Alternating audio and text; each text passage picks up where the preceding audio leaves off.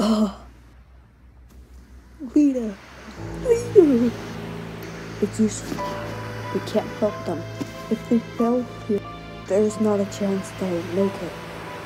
You're his big brother, aren't you? How could you just make up your mind like that? That's right. I'm his older brother, that's why. I can understand how much pain my brother feels. Huh? You heard his words, right? As the supreme leader, I can't let any more of my followers get killed.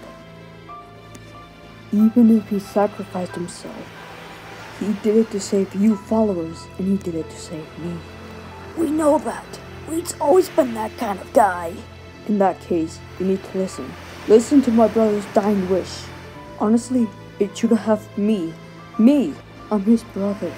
And yet, now that it's come to this, there's only one thing that I can do for him. I have to fulfill Weed's wishes. Huh? And make sure you don't waste your lives. oh, did you see that? Shh, I know, Michael. Just look.